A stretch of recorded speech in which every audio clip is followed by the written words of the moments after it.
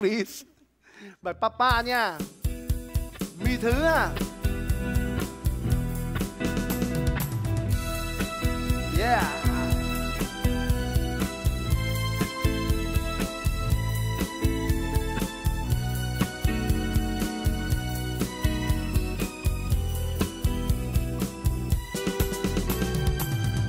Every day my papa work to help to make ends meet, to see that we would eat, keep those shoes upon my feet.